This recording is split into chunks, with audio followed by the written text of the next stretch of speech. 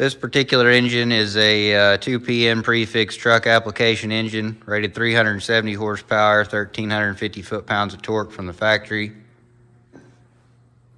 I bought this, uh, number one, because it was cheap. Number two, because I wanted it for parts for a 7ZR prefix 3176C that I've got in a machine.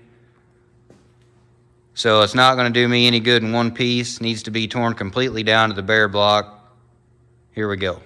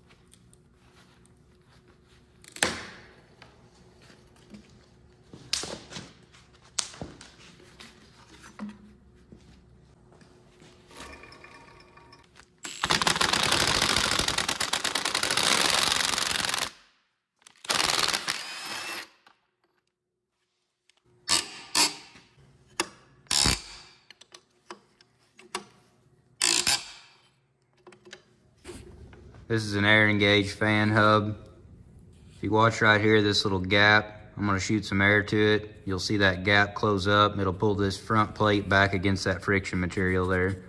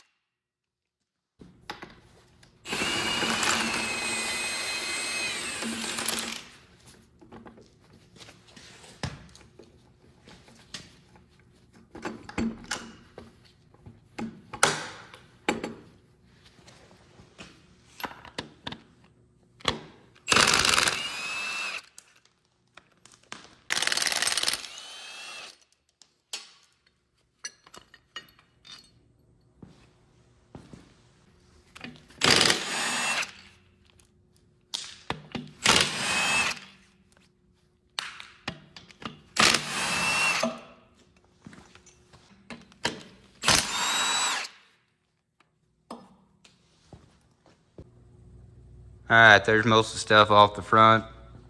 Move around here, uh, pull this intake elbow off, then probably pull the turbo and the intake manifold and the exhaust manifold.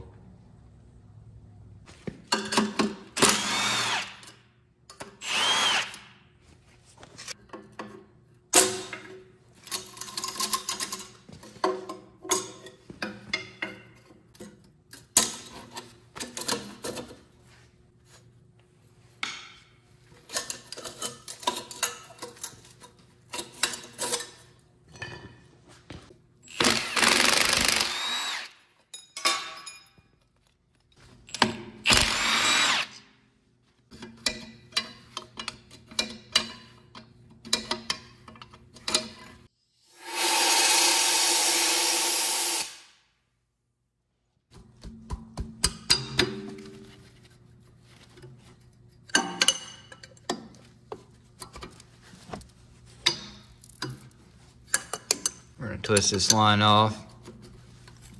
That's fine. I don't need it anyway.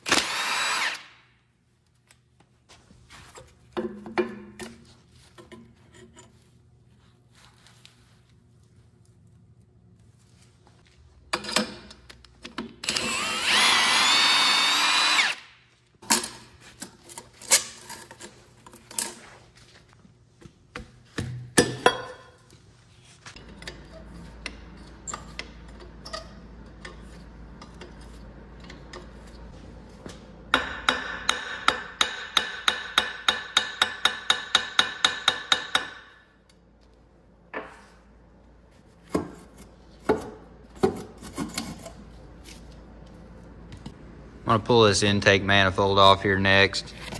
So I gotta get these sensors out first. That's the intake air temperature sensor. That's the boost sensor right there.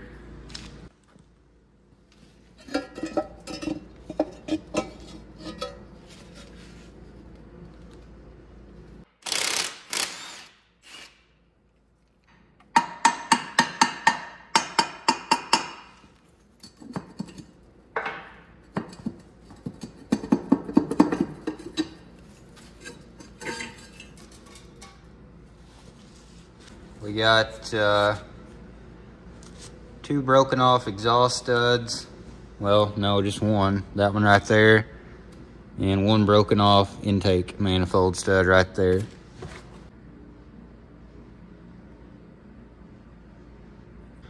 So I'm gonna pull this water manifold off here next, get the thermostat housing off. I'll come down here and I'll get the oil cooler and the elbows and uh, the water pump, oil filter base and oil filter off.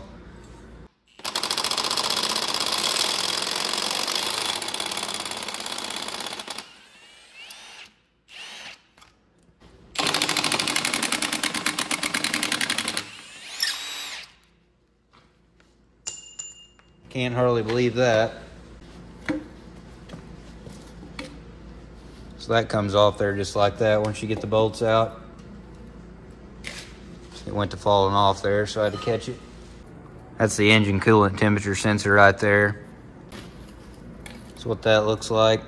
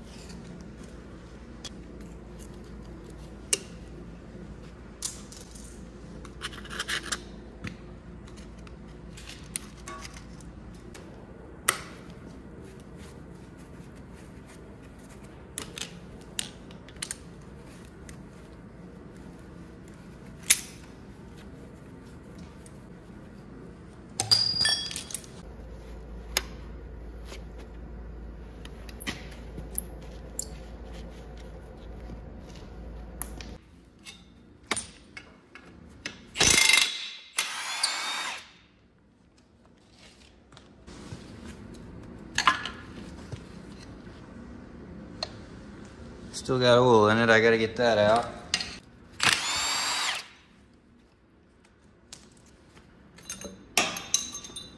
Oil filler tube. That sensor right back in there is the engine oil pressure sensor. All these sensors that I'm pointing out, these are the ones that actually go in the engine harness that are feeding back to the ECM. So they're the sensors that the ECM is actually getting its readings from.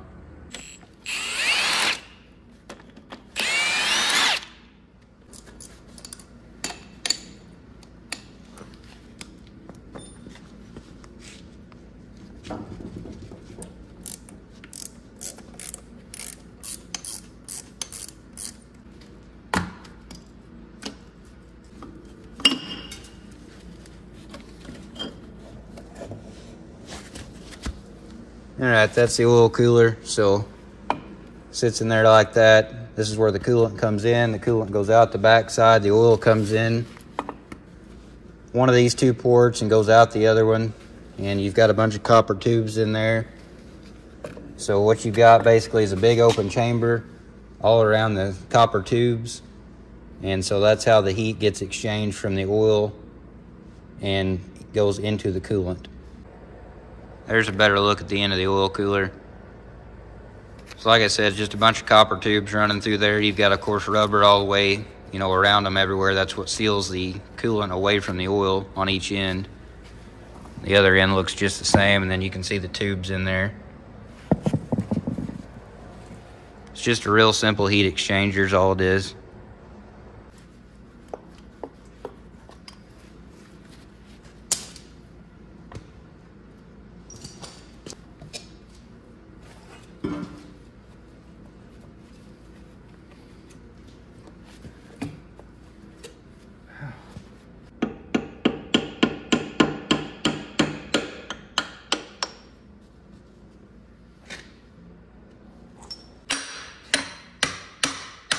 I just don't understand people's fascination with putting oil filters on with like a six foot breaker bar. I mean, what's the point of that?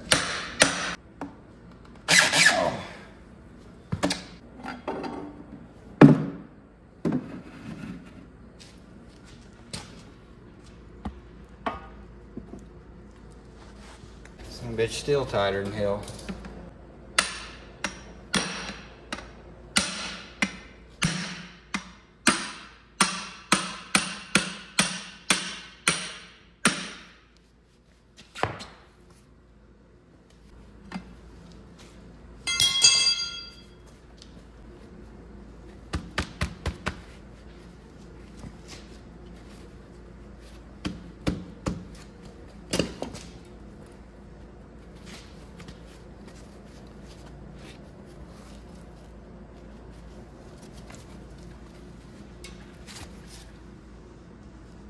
Filter base.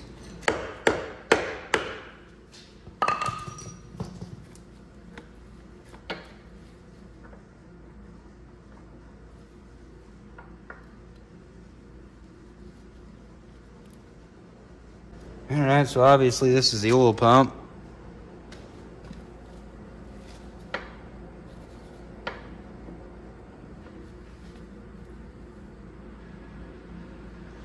Doesn't look too bad.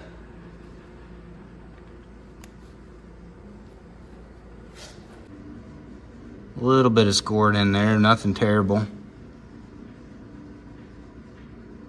I don't know if I've mentioned this. I guess I haven't mentioned this yet. Uh, this is my first time tearing one of these C10, C12 family engines down. Been into, or completely torn down to the bare block. I don't even know how many. Way up into the hundreds of 3406E, C15, C16, C18 family engines, but uh, this is my first one of these. I don't ever deal with these engines. All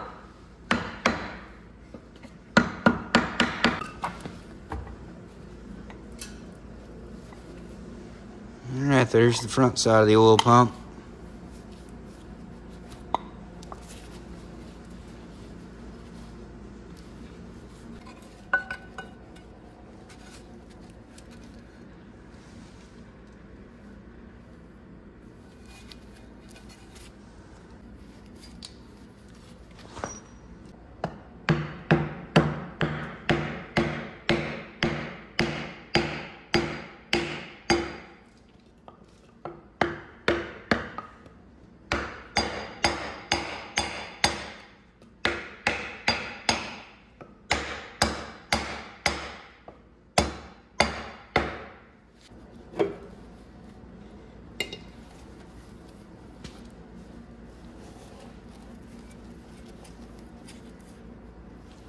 Well, that's everything off this side of the engine.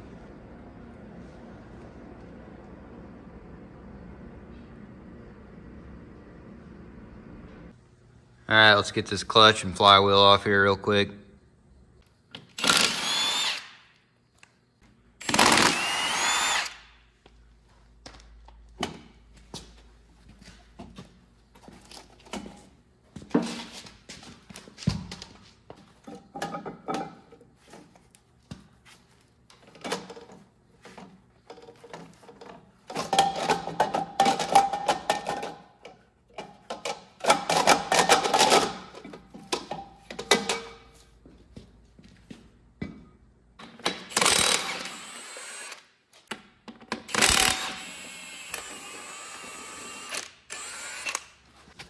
Starter's only got one bolt in it. I'm pretty sure I was the guy that did that. And I'm pretty sure that this bolt's gonna be really, really tight. Gosh, damn. Yes, it is.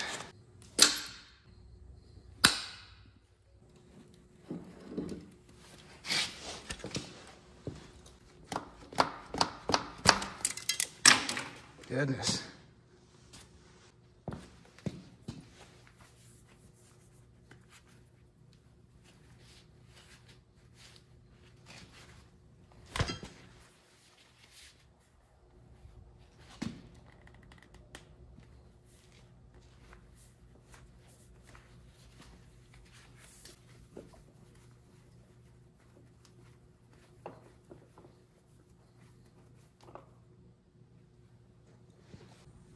Pull this fuel filter base off here now. This sensor right here, that's the fuel temperature sensor.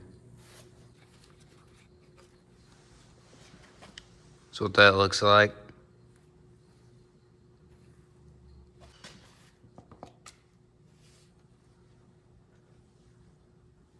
A couple O-rings there to seal that to the fuel rail.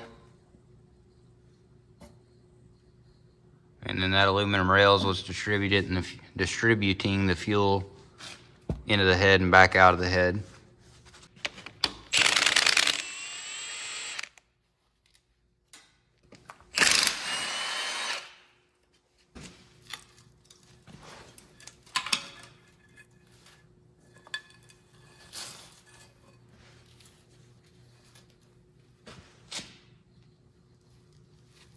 That all seals to the head with some O-rings again. I'm gonna go ahead and get this wiring harness out of the way next. So like I said, this is the engine harness. This would plug into the ECM, which would normally be right down in here. So this is the harness that goes to all the sensors on the engine. And there'd be another plug like this coming from the truck in here that would plug into the other port in the ECM. So the last two sensors I haven't talked about yet would be this one. That's the atmospheric pressure sensor. And then the only other one is right here. That's the speed slash timing sensor. Uh, this 2PN is just like a 5EK, 6TS, 1LW, 5DS truck engine, 3406E truck engine, uh, single timing sensor engine. So that sensor right there in a single timing sensor engine, very, very critical. You got to have it, won't run without it. So uh, this is where the uh, harness goes into the, the rocker box. And then of course there's wires that come out, go to each unit injector. So that's what all those wires are. And then uh, there's also wires in this for the Jakes too, which aren't here. I've already sold them, they're gone. Back on this timing sensor deal real quick. So in the dual timing sensor engines like uh, 2WS, 6NZ, MBN, and then on into the ACERT truck engines, for example, they will have two timing sensors. So there's one on those particular prefixes that will read off the cam gear, and then there's another one that will read off of the crankshaft. There's a tone wheel on the crankshaft too, so you have dual timing sensors, and those engines will run with only one of those two sensors there, or uh, you know, working correctly. But the single timing sensor engines will not. That sensor goes bad, or ain't there, or whatever, you ain't going nowhere. This is a 9AP machinery application, 3406E, so this is not something you'll find in a truck, but this is actually a dual timing sensor engine. It's done a little different way though. Kind of interesting how Caterpillar does stuff like this different uh, for different applications. You won't find a setup like this on any truck engine. But uh, there's one timing sensor here. That's what that sensor right there is. And then there's also another one right here. So dual timing sensor engine, but both of them are reading off the cam gear. Whereas in a truck engine, a dual timing sensor truck engine, you'd have one up there or one in here, actually more like this one that's back here, reading off the cam, and then you'd have another one down in here reading off the crankshaft tone wheel. All right, here's the atmospheric pressure sensor. That's what that looks like.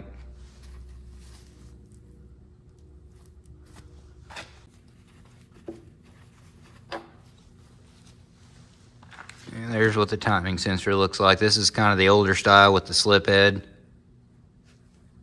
They've updated now to a little newer style that's just like a solid uh, just looks like a solid piece of metal. They both work fine. These are just kind of, you got to sort of know a little bit more about what you're doing with these. These can cause a problem, as in a no start if you don't know what you're doing. The other ones, you just screw them in and they work. And uh, by the way, I'm 99% sure this is the original sensor to the engine, so this sensor is over 20 years old and it still works. That just shows you how reliable these really are. All right, wiring harness should be free now. That's pretty much all there is to the engine harness on this engine.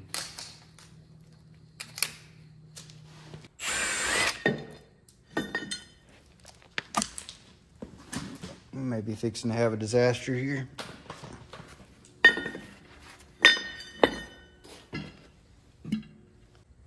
Well, I got the compressor out of there. I had to uh, get the tripod out of the way. I couldn't get that done on camera, but anyway. So there's a, a ring on here, and that ring is like a, a pretty snug slip fit into this bore right here. And that's what locates the compressor. This is a little different design than what I'm used to. So to get that out of there, it's got to be pretty much just right. You just got to kind of wiggle on it and wiggle on it, and it'll eventually slip out of there. But that's what that looks like. Compressor drive gear. You can see the rest of the timing gears in there. Power steering pump.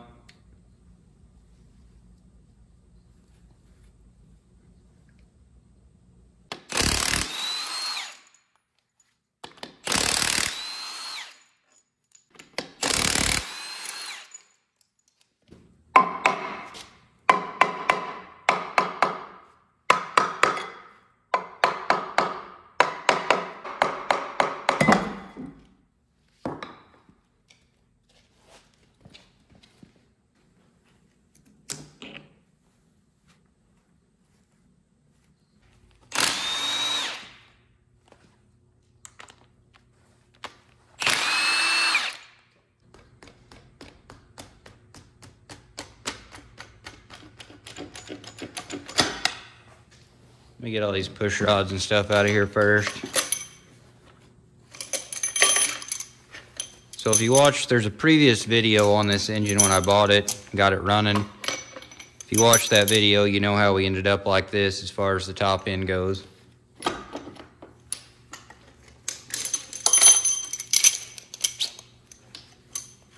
So these are all the push rods. The bigger ones are the injector push rods. And the smaller ones are the uh, valve push rods. I'll just go ahead and lift all the rockers out of here too. So the middle one's the injector rocker arm. And then see this would be a, this longer one would be a, gotta look around on the other side here, that would be an exhaust. Right here, and then that's an intake right there.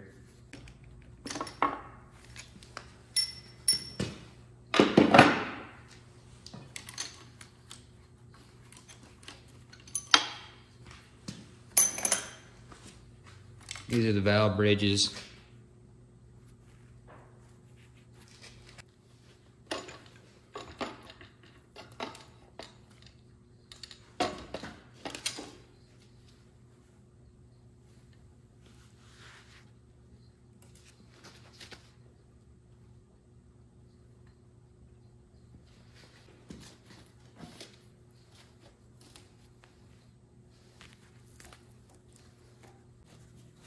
Okay, the only thing left up there is the injectors.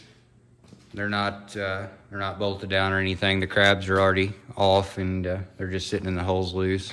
So they'll lift right out.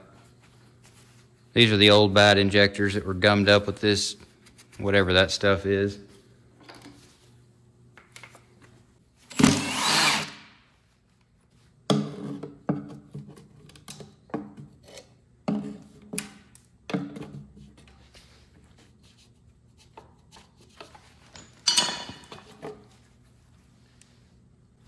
main seal.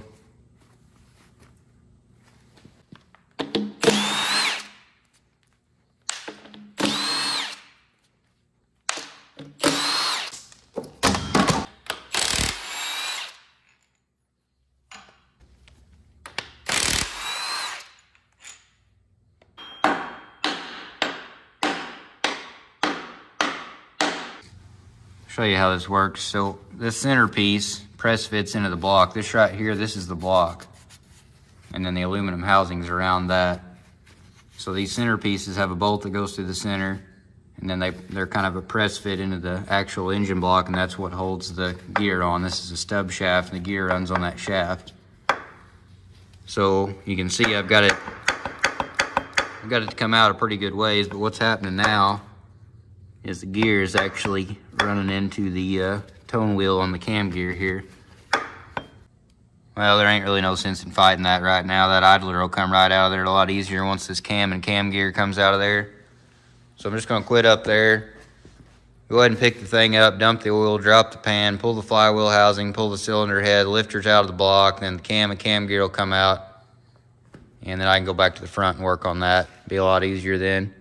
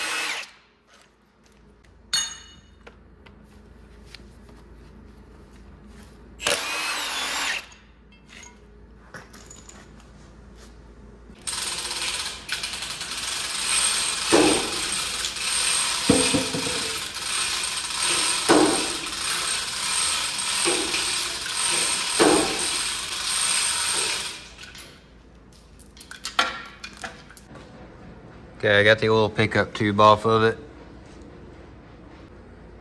Here's the pan and the oil pickup tube.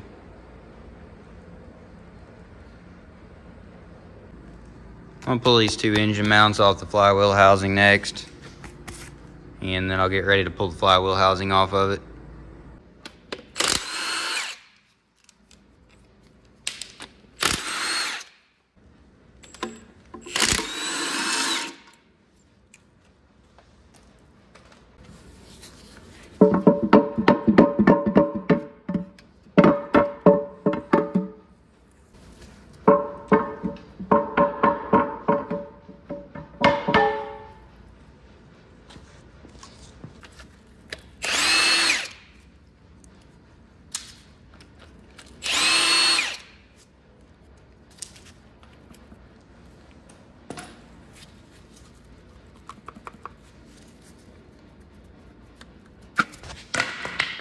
Shit, jumped right off there. There's the rear main seal. There's the back side of it.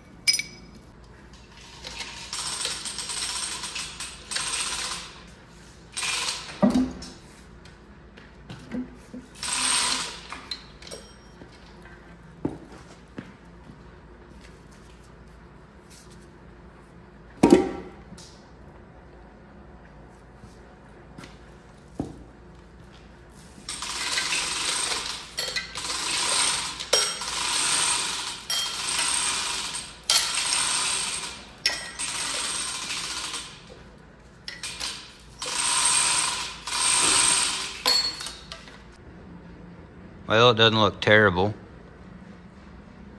I mean, it was worn out, needed to be rebuilt, but nothing's destroyed. Of course, it's got some rust from sitting around, but I have definitely seen a whole lot worse.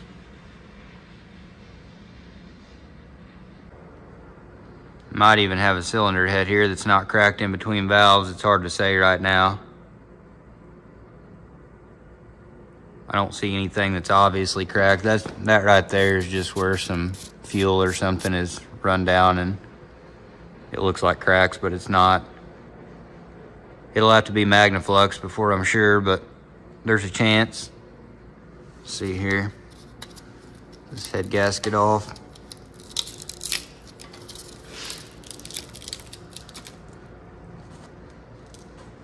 Head gasket wasn't blown anywhere.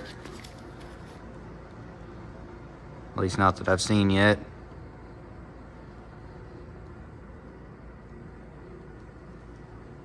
No, I think it was fine. All right, what's next?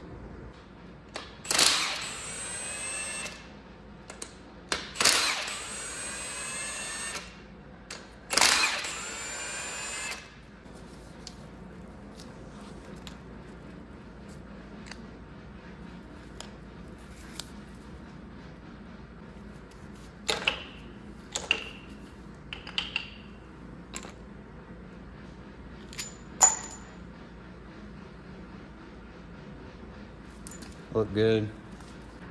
Cam looks all right. I mean, it'll need to be checked out and polished if a guy wanted to use it, but that little shiny strip, that's the only spot where the roller actually runs. The rest of it isn't used.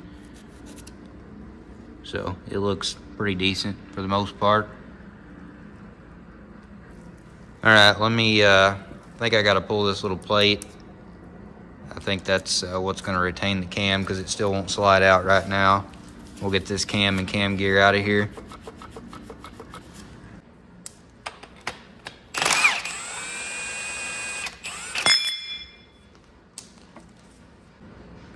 Oh, I see there's a bolt coming across through here.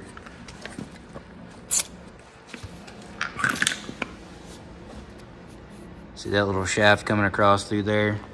That's that right there. That's what's retaining that cam in there.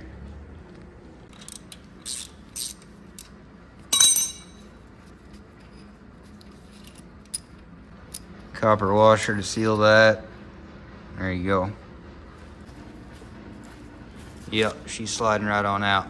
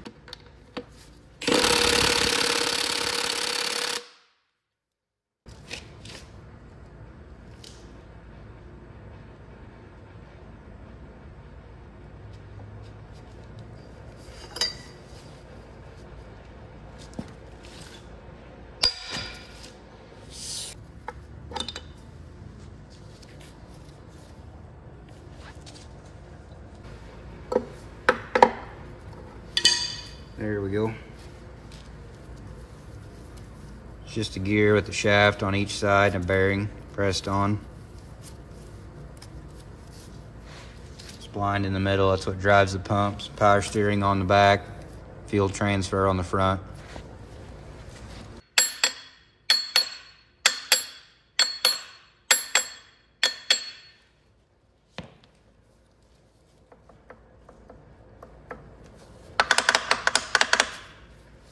There she goes. See, that's all that is. And then this part right here gets pressed into the block when you put that bolt through there and tighten it down. Bushing in there looks halfway decent.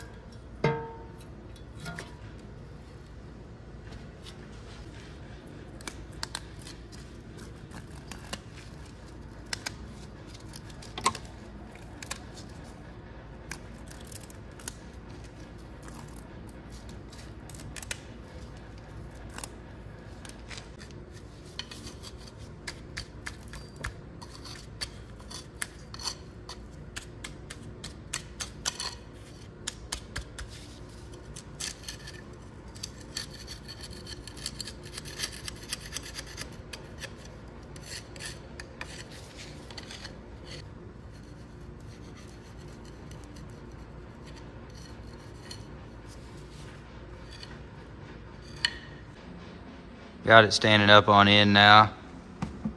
Just pulled the bolts loose in number one there. Just pull the cap off. Actually, I may want to leave that in there and use those bolts to wiggle that out of there.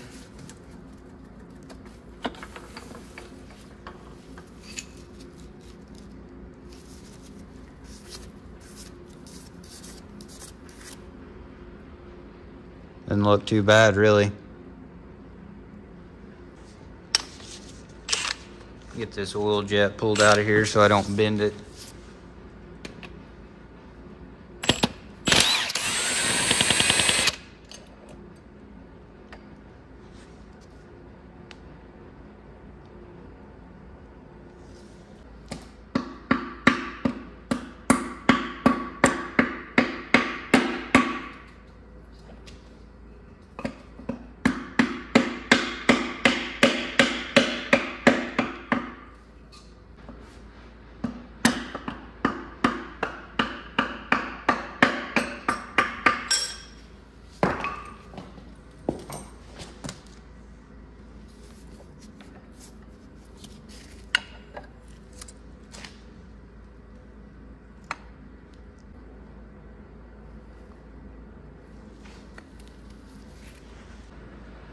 Alright, well, you don't need to watch that happen five more times. So let me get the rest of these out of here. I'll bring it back when it's time to pull a crank out.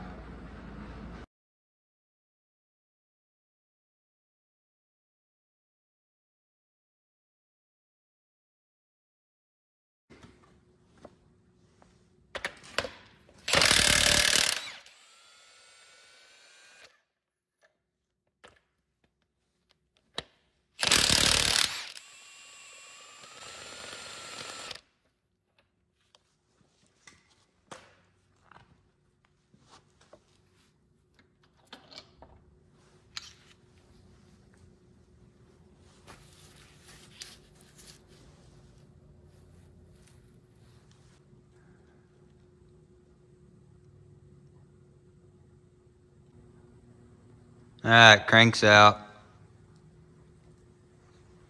Looks real good as expected.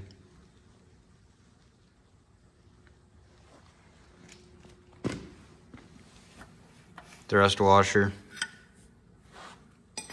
That setup's just like a 3406E or C15 family engine there. So the liners are going to stay in it for now. I don't have a foot made the right size to pull these out. I'll uh, take some measurements, have my machine shop make me a foot for my puller. That's going to be it for now. Here's the main bearings. Some of these were getting pretty, pretty rough. It was due for some bearings and some liners for sure, but other than that, wasn't in bad shape. Well, I drug a new piece of shit in here the other day. I'm gonna run outside and see if it'll start. I dug this piece of shit in here about, I don't know, two or three weeks ago.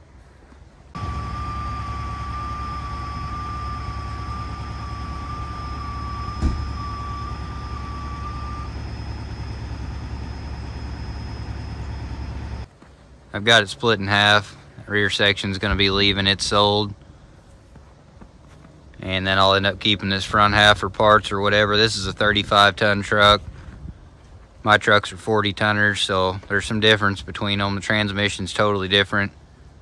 But uh, most of the stuff here, as far as all the cab parts and uh, the engine's the same other than the horsepower rating. So I bought this thing as is. It had pretty major hydraulic problems. As you can see, this is all done prior to me buying it.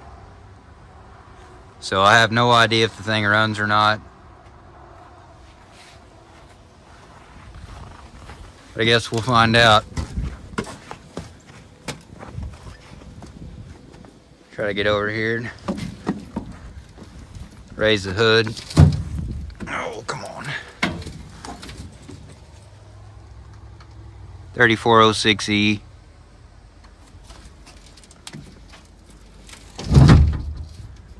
So let me get some batteries put on here and we'll see if she'll go. And it's not warm at all. about 20 right now, and it's been uh, last couple days as cold as three below zero. So.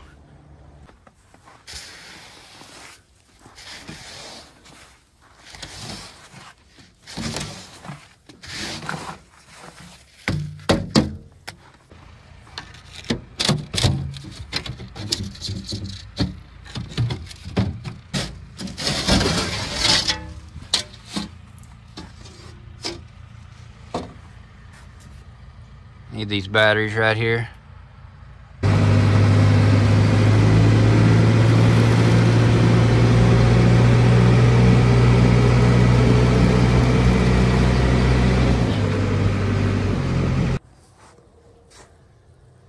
All right, we got batteries.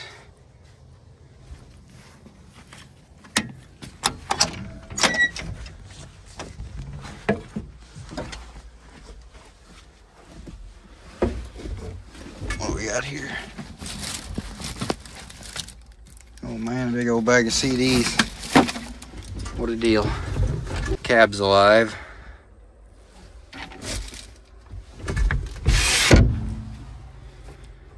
See what we get here.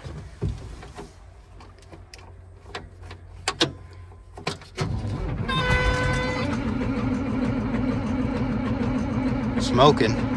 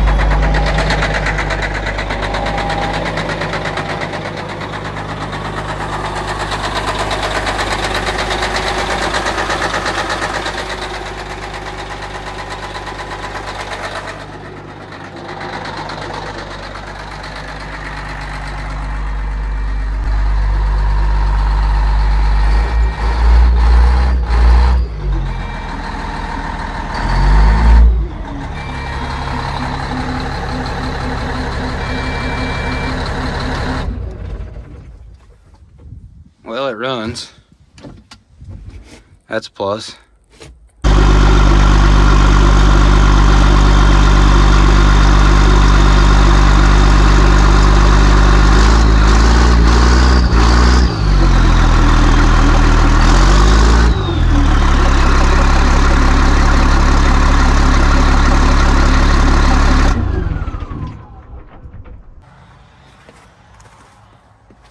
Well, Nothing quite like a good old 3406E. They rarely let me down. This one's been sitting in a quarry for no telling how long not being run. It Came right to life, 20 degrees, no big deal. Guess that's all I got. Thanks for watching. I'll see you next time.